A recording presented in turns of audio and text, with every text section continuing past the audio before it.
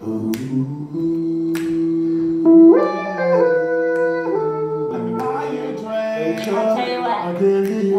you pay to marry, it ain't enough. I don't want to talk about my chest. I can't just say it.